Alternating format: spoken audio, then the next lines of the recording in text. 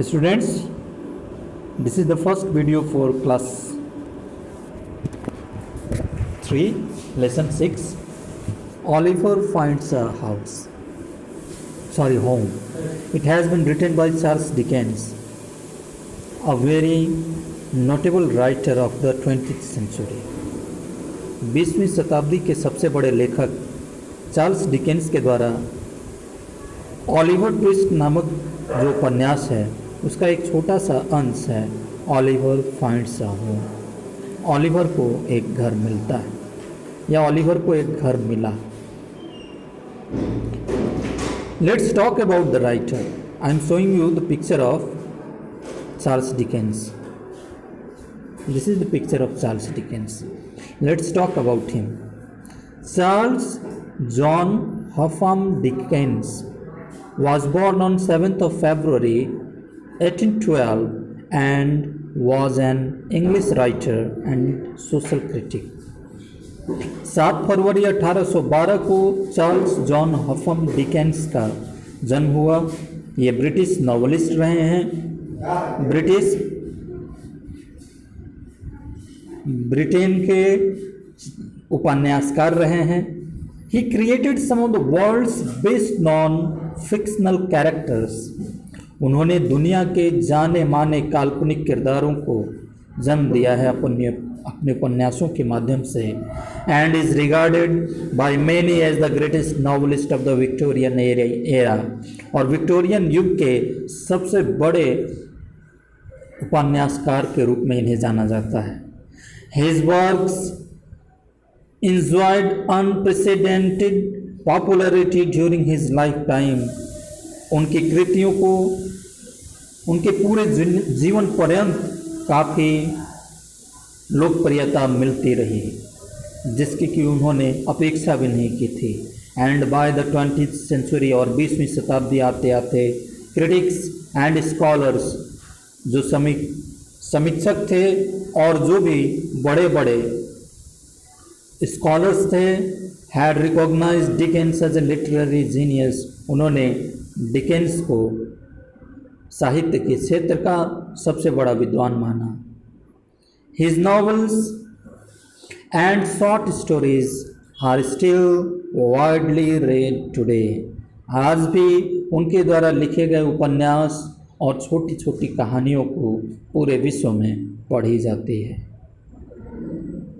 So students this was a short description about Charles Dickens let's talk about some of the notable works the Pickwick Papers Oliver Twist इसी Oliver Twist के एक छोटा सा अंश। Oliver Twist नामक जो उपन्यास है, उसका एक छोटा सा अंश आपके बुक में दिया गया है ऑलिवर फाइंड्स क्या नाम है उसका? ऑलिवर फाइंड्स अ होम उसके बाद सम हिज नोटेबल वर्क्स के अंतर्गत में Nicholas Nickleby by a Christmas Carol David Copperfield Bleak House Little dot a Tale of Two Cities Great Expectations ये कुछ ऐसी किताबें हैं जो कि इनके महान कृतियों के रूप में गिने जाते हैं। Students now let's before starting the lesson just have a glance upon warm up Oliver Twist had never known peace and happiness शांति और खुशी क्या होती है, ये ऑलिवर ट्विस्ट ने कभी जाना ही नहीं था। क्योंकि ऑलिवर ट्विस्ट की जो कहानी है, उसका शुरुआत ही बड़ा दुखदाई तरीके से होता है। ऑलिवर ट्विस्ट बचपन में ही, जब वो काफ़ी छोटा रहता है, उसी समय वो अनाथ हो जाता है। उसके ऊपर कई तरह के जुल्म ढाए जाते हैं। आप इसका एक और part the boy who asked for more ये भी कई किताबों में ये कहानी दी गई है, आप उसको पढ़ें तो आपको समझ में आ जाएगा कि ऑलिवर ट्विस्ट के ऊपर कैसे, किस प्रकार के जुल्म हुआ करते थे। Then he falls in the bad company वह बुरी संगति में फंस जाता है। Sometimes he was jailed also present also कई बार उसे जेल की सज़ा भी मिलती है। So Oliver Twist had never known peace and happiness Oliver Twist ने कभी शांति और खुशी इन दोनों को कभी नहीं जाना था। With the Maylies he found both लेकिन मैलिज के साथ होने के पर उसे दोनों मिल गया। यानी शांति भी मिली, उसे खुशी भी मिली। Why do think a home is so important आपको ऐसा क्यों लगता है? एक घर क्यों ज़रूरी होता है?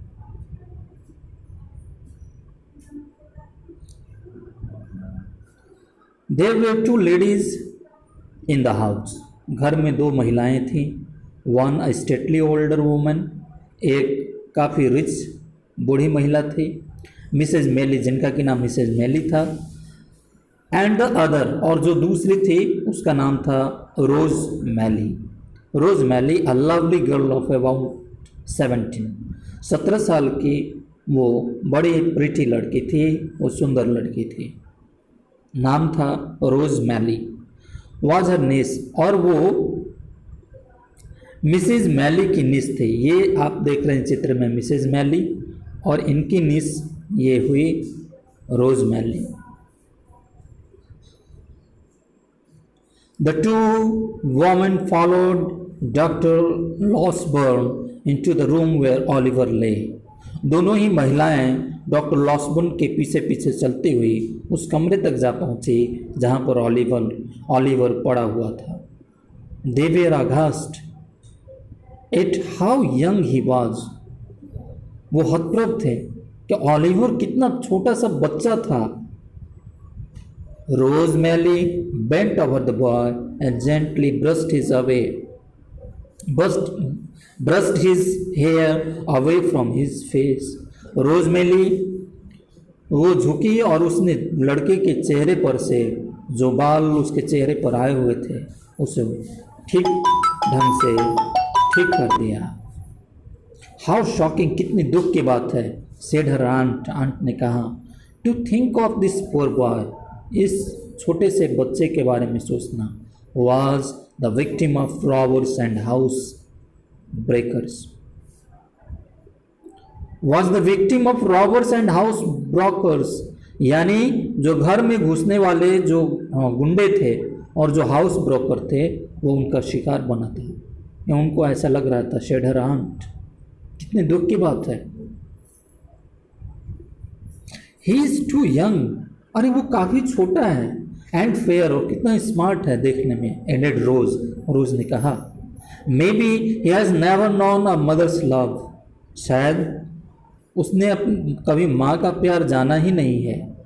Maybe he has never had a home and a family ये भी हो सकता है उसे ज़िंदगी में कभी कोई परिवार या फिर कोई घर नहीं मिला था। Maybe he was force into a life of और ये भी हो सकता है कि उसे ज़बरदस्ती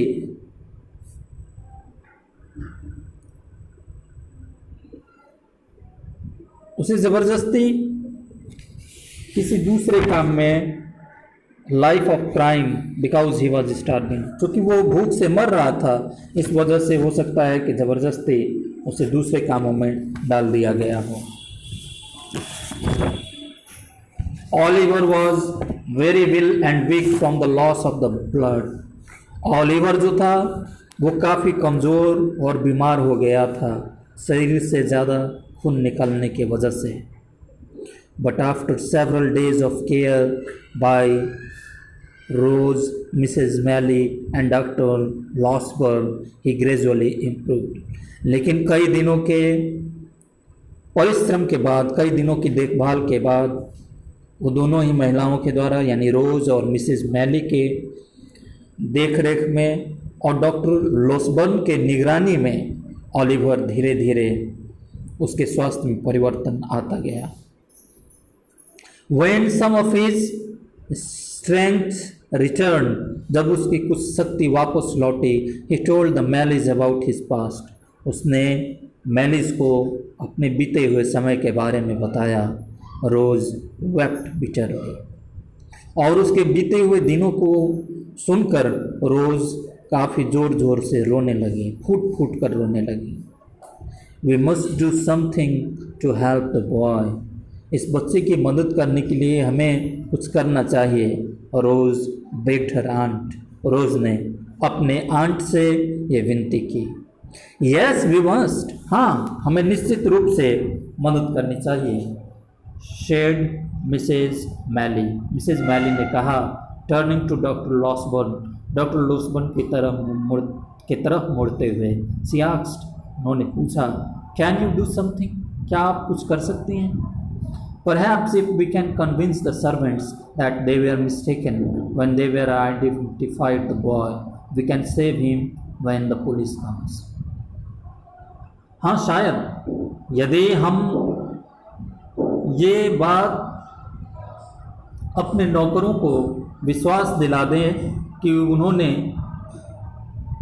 अंधेरे में उस बच्चे को नहीं देखा था जिसे कि वो अभी पहचान रहे थे तो इस प्रकार से हम इसे पुलिस की चंगुल में जाने से बचा सकते हैं।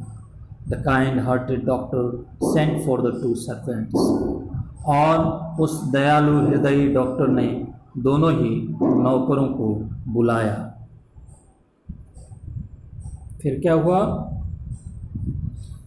The kind doctor sent for the two servants दोनों नौकरों को डॉक्टर डॉक्टर ने बुलाया। जिसके नाम थे जाइल्स एंड ब्रिटल्स से डॉक्टर लॉसबर्न लॉसबर्न ने पूछा कि Giles and Brittles can you swear क्या तुम कसम खा करके ये बात कह सकते हो that the boy with the robbers was Oliver कि गुंडों के साथ जो लड़का था वो ऑलिवर ही था, क्या तुम कसम खा करके कह सकते हो? Could you really identify him in the darkness with all the gun fire जब गन शॉट चल रहे थे, जब बंदूकें चल रही थी, क्या तुम उन गोलियों की आवाज़ के बीच उस अंधेरे में इस बच्चे को तुम पहचान सकते, पहचान पाए थे? ये यही था। The servants admitted that they could not be absolutely certain तो नौकरों ने इस बात को स्वीकार किया कि वो इसके बारे में पूर्ण रूप से, निश्चित रूप से नहीं कह सकते। So when the policeman arrived at the house to investigate the house breaking no one could identify the boy इस प्रकार से जब पुलिस अपने दल बल के साथ उस घर में, उस घर में डकै होने वाली डकैती की छानबीन करने के लिए जब वो आई तो किसी ने भी no one could identify the boy कोई भी उस बच्चे को नहीं पहचान पाया था। So no charges were pressed against Oliver और इस प्रकार से ऑलिवर के ऊपर किसी भी प्रकार का कोई चार्ज नहीं लगाया गया। After all it was difficult not to pity the poor little boy लेकिन इन सब के बावजूद भी यह काफ़ी मुश्किल था उस बच्चे के ऊपर, उस गरीब, उस बेचारे छोटे बच्चे के ऊपर दया दिखाना। He look so helpless and innocent lying there in bed could he really have wanted to rob the house वह देखने में इतना इनोसेंट इतना मासूम और असहाय नज़र आता था कि ये उन लोग कल्पना भी नहीं कर सकते थे। वो बिछावन पर पड़ा हुआ जो जो बच्चा था वो वास्तव में उस घर में डकैती करना चाहता था। Oliver quickly recovered from his wounds Oliver जल्द ही अपने घावों से उबर गया and entered into the happiest period of his life और अपने जीवन के सबसे खुशनुमा पलों को वो जीने लगा। The Maylies retreat treated him like a member of their own family Maylies ने उसे अपने परिवार के सदस्य की तरह से माना था। एंड वेन स्प्रिंग कैम्प और जब वसंत ऋतु आई they took him to their cottage in the country वे गाँव में अपने घर के तरफ़ घर लेकर के गए। कौन? मिसेज मैली, रोज मैली, और साथ ही साथ उनके साथ गया Oliver. Here he learn to read यहाँ उसने पढ़ना एंड राइट और लिखना सीखा। He spent many happy hours running along the country roads ग्रामीण सड़कों पर काफ़ी देर तक इधर से उधर कूदना उसे अब अच्छा लगने लगा था। पिकिंग फ्लावर्स फूलों को तोड़ना भी, फूलों को चुनना भी उसे काफ़ी अच्छा लगा था। फीडिंग द बर्ड्स और वो खाली समय चिड़ियों को दाने डालने में बिताता। इन इवनिंग्स और शाम होने पर he listen to Rose play the piano वह रोज के द्वारा बजाए गए पियानो की आवाज़ को सुनता। यानी रोज़ जब पियानो बजाते वो वहाँ बैठ करके पियानो की आवाज़ को सुनता। Every night he slept peacefully in a clean bed in his own room अपने ही कमरे में साफ़ सुथरे बिछावन पर वह हर एक रात सोया करता था। Oliver had never known such peace and such happiness जो कि ऑलिवर ने ज़िंदगी में कभी भी ऐसी शांति और ऐसी खुशी महसूस की थी। Adapted from Oliver Twist by Charles Dickens Oliver Twist नामक उपन्यास से संग्रहित और चार्ल्स डिकेंस द्वारा लिखित। Students this is all for today I do hope this is gonna be beneficial for you. In the next video i will come up with the question and answers of this lesson. Till then keep learning.